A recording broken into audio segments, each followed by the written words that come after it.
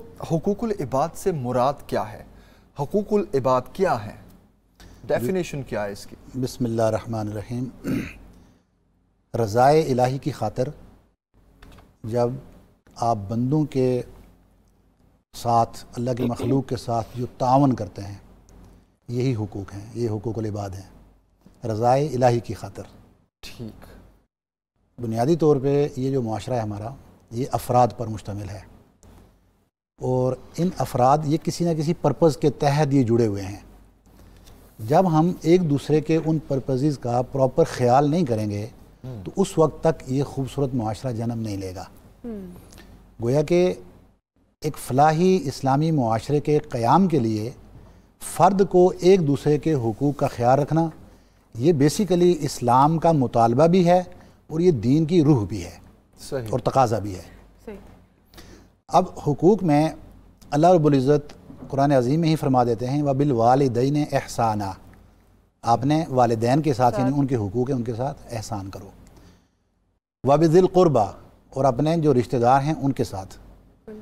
ولیتامہ مسکینوں کے ساتھ بھی۔ ہم، والجار الجنوبی اور پہلے اس سے فرمایا دیا کہ والجار ذل قربہ اور ایسا پڑوسی جو آپ کا رشتہ دار بھی ہے والجار الجنوبی اور ایسا پڑوسی جو آپ کا صرف پڑوسی ہے رشتہ دار نہیں ہے۔ ہم، اور فرما دیا کہ جو آپ کے ساتھ بیٹھے ہوئے لوگ ہوتے ہیں ڈیفرنٹ جہاں آپ جابز کر رہے ہیں جہاں اس وقت آپ بیٹھے ہوئے ہیں کلاس رومز میں ہیں آفس کے کولیگز ہیں وغیرہ وغیرہ۔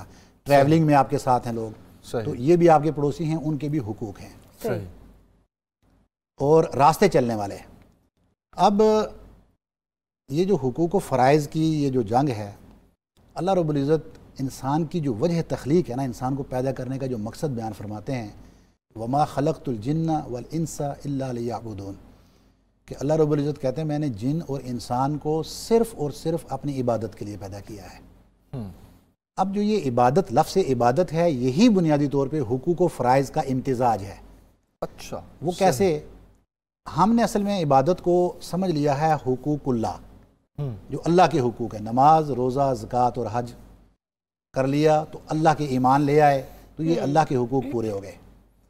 لیکن جو عبادت ہے اب جو بندے کی تخلیق کا مقصد بیان کیا گیا ہے اگر ہم ہر وقت اس کے اندر نہیں رہیں گے تو پھر وہ تو پورا نہ ہوا۔ اس لیے مفسرین کرام یہاں پر جو عبادت کا معنی بیان فرماتے ہیں وہ کہتے ہیں کہ جو فقہ کی کتب میں عبادت کا معنی آیا ہے وہ یہاں مراد نہیں ہے بلکہ اس سے مراد امر الہی کی تعظیم ہے۔ ٹھیک۔ اور لوگوں کے حقوق کا خیال رکھنا ہے۔ صحیح۔ اب آپ اگر 24 فور آورز امر الہی اللہ کا حکم اللہ رب العزت نے جب انسان کو تخلیق دیا تو دستور حیات کی صورت میں قرآن پاک اور حدیث شریف کی صورت میں تمام چیزوں کو بیان کر دیا سب احاطہ کر لیا۔ اب آپ کے پاس ہر چیز موجود ہے والدین کے ساتھ کیسے سلوک کرنا ہے؟ قرآن میں موجود ہے حدیث میں موجود ہے۔ ٹھیک ہے۔ اپنی اولاد کے ساتھ اس کے کیا حقوق و فرائض ہیں؟ میاں بیوی کے کیا حقوق و فرائض ہیں؟ پڑوسیوں کے کیا حقوق و فرائض ہیں؟ مسافر کے کیا حقوق و فرائض ہیں؟ کمزور کے کیا حقوق و فرائض ہیں؟ ظالم اور مظلوم کے کیا حقوق و فرائض ہیں؟ جیسے حدیث شریف میں آیا نا حضور نے فرمایا کہ ظالم کی بھی مدد کرو مظلوم کی بھی مدد کرو۔ صحابہ نے پوچھا یا رسول اللہ ظالم کی تو سمجھ نہیں آتی؟ مظلوم کی تو سمجھ میں آتی ہے ظالم کی کیسے مدد فرمائیں؟ آپ نے فرمایا ظالم کو ظلم سے روک کر اس کی مدد کرو۔ صحیح۔ گویا کہ یہ بھی ہمارے حقوق میں شامل ہے کہ ہم ظالم کو ظلم سے بھی روکیں۔ تو یہ جو کامن ایک مکمل جو لائف گزارنے کا پیکج ہے آپ کا یہ حقوق و فرائض کا پیکج ہے۔ اللہ اور بندے حقوق اللہ اور حقوق